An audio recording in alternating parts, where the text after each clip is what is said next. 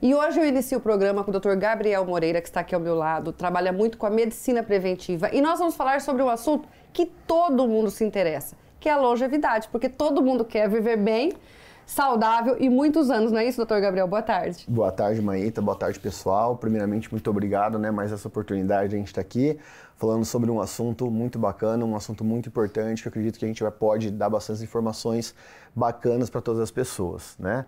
Então, quando a gente fala em longevidade saudável, é exatamente isso, né? É viver mais e viver melhor, ter qualidade de vida durante né, esses anos que vão passando. E qual é o segredo, então? Passa essa receita pra gente. Na verdade, tudo isso começa muito básico, né? A gente imagina só que a gente tem uma pirâmide, né, da longevidade saudável, e a base de tudo isso, né, é o estilo de vida. Então, o estilo de vida é saudável, ter uma alimentação saudável, né? Primeiro, quando a gente fala da alimentação saudável, a gente tem que entender que, infelizmente, existem substâncias em alguns alimentos que inflamam o nosso organismo, né, diminuem os nossos hormônios e essa inflamação predispõe o nosso organismo às doenças crônicas, né, infarto, AVC, diabetes, câncer, Alzheimer. Então, o primeiro passo é a gente eliminar essas substâncias do nosso dia a dia, da nossa rotina. E quando você certo? diz isso, é, alguns alimentos e algumas substâncias para determinadas pessoas?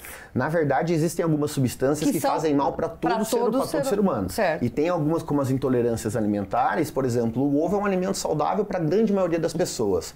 Mas existem algumas pessoas que o ovo ele gera inflamação. E então, aí a pessoa não sabe? Ela não sabe, mas ela vai sentir algum sintoma, né? Por exemplo, uma distensão abdominal, acne, né? Na pele dela fala muito isso, alergias. E ninguém iria imaginar que o ovo pode provocar acne. Exatamente, por isso que a gente tem, a gente tem exames específicos né, de intolerância alimentar para fazer esse diagnóstico e montar, a nutricionista montar uma, um, um planejamento nutricional personalizado para essa pessoa de acordo com as intolerâncias, entendeu? Os seus pacientes, quando chegam até você, o que eles mais procuram? É a longevidade? É um emagrecimento? É algum problema de saúde que desencadeou? Como é que é? é hoje eu já estou há quase seis anos nessa área de medicina integrativa, medicina de saúde, medicina preventiva. E a gente vai né, criando um, um, um, um perfil. Sim. Então hoje o, o, o, perfil dos meus pacientes, são, a grande maioria dos pacientes são pessoas que querem, né, obviamente, qualidade de vida, longevidade saudável. Né? Essas pessoas, a principal queixas delas né, é já cansaço, fadiga, indisposição, o sono não está legal. Essas pessoas vezes têm dificuldade de emagrecimento, né? Chegam pessoas querendo emagrecer também, tem obviamente tem vários tipos de pacientes, atletas, né, emagrecimento, mas o arroz e feijão, né, são pessoas que, Gabriel, quero diminuir o risco de eu ficar doente lá na frente, quero pôr um freio nos efeitos do envelhecimento, quero saber, né, como é que estão todos os meus exames para eu poder saber o que eu tenho que suplementar para eu viver mais e melhor. Ou seja, tudo, né? A gente, exatamente, é um trabalho... Você é, pega o ser humano e analisa ele de cima e embaixo. É, a medicina integrativa, ela é integral, né? A gente, é, ela tem alta complexidade e é um, um tratamento muito completo, porque a gente... Porque você citou até o sono, né? Sono. E eu acho que a pessoa que não tem um sono legal, nada vai bem, né? Nada vai bem, Sem exatamente. contar que as pessoas que não dormem atacam a geladeira à noite. Exatamente. Isso daí, né, eu costumo falar, né, caixão e vela preta, né? Porque, porque o sono, a otimização do sono é o nosso ponto zero, é o nosso ponto de partida para a gente iniciar a tirar da alimentação. você consegue reverter essa situação e, e ajudar a nesse... A fisiologia, é muito, ela é muito básica, então a gente respeitando o ritmo circadiano, né, a gente respeitando o horário de dormir, que é entre 9 e 11 horas da noite, a gente preparando o nosso ambiente de dormir, né? Que é, a gente chama de higiene do sono, que é deixar o quarto escuro, sem ruídos, baixar a luz do celular. E a gente avalia a, a, a, características né, do sono dessa pessoa com algumas perguntas específicas e algumas vezes a gente prescreve suplementos, né? Por exemplo, a melatonina, ela é maravilhosa, existem alguns associados que potencializam a ação da melatonina, então a gente consegue regular o sono dessa pessoa numa condição onde ela não demore para pegar no sono, onde ela tenha um sono reparador, um sono REM acorde com boa disposição de manhã. O fato da gente sonhar e lembrar dos sonhos quando a gente acorda é um sinal positivo de que a gente restaurou o nosso sistema. Então tem algumas características que falam se esse sono dessa pessoa é um sono muito ruim, um sono péssimo, um sono regular, um sono bom, né? um sono ótimo. E é isso e que intenção... você vai descobrir também Exatamente. através de exames e tudo mais, né? Porque a pessoa às vezes não tem disposição durante o dia. Porque não está dormindo bem. Exatamente. Exatamente. Uma coisa puxa a outra. Puxa a né? outra, né? Doutor Gabriel, em relação ao equilíbrio hormonal, seria assim o termo, né? Exatamente, né? Imagina só que os hormônios do nosso organismo é uma série de hormônios, né? Existe uma hierarquia nesses hormônios.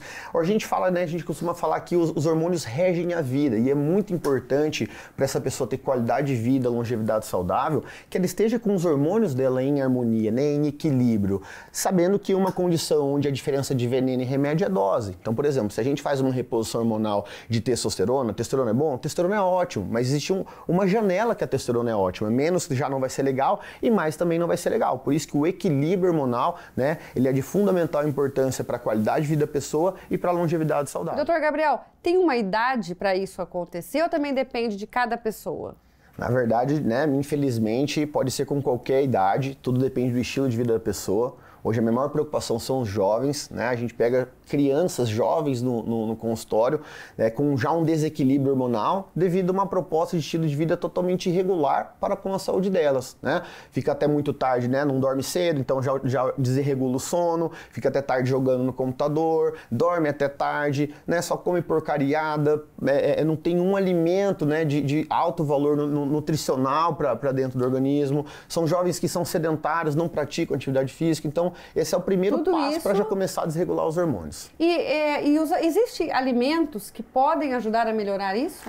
É, como eu falei, o primeiro passo é a gente eliminar o que faz mal. A gente eliminando o que faz mal, né, de uma maneira geral, açúcar, glúten, lactose, óleos vegetais, industrializados, né, é aquele ditado, é descascar mais, desembrulhar menos. Então, a gente tirando o, esses alimentos, essas substâncias inflamatórias, já é o primeiro passo para a gente não é, é, é, causar uma desarmonia dentro do nosso organismo, certo? existem muitos alimentos que são saudáveis que ajudam, né, no nosso, né, é, é, no nosso metabolismo, né, na, na, até na produção dos hormônios, são alimentos saudáveis, ricos ricos em antioxidantes, né, ricos em, em substâncias que vão dar suporte metabólico para o nosso organismo. Então, são alimentos saudáveis de uma maneira geral, né? Abacate, frutas vermelhas, né, as próprias castanhas, whey protein. Então, a gente tem muita, muitos alimentos que podem ajudar ou podem atrapalhar o equilíbrio é, Na verdade, dos hormônios. a gente tem que aprender a se alimentar, né? Exatamente. Comer, é, comer sabendo que aquilo vai te fazer bem e para determinada coisa. E, e, e, comer sabendo que aquilo vai te prejudicar é. e muito em determinado aspecto, né? Exatamente. A gente fala fala para os nossos pacientes lá no Instituto, a nutricionista, ela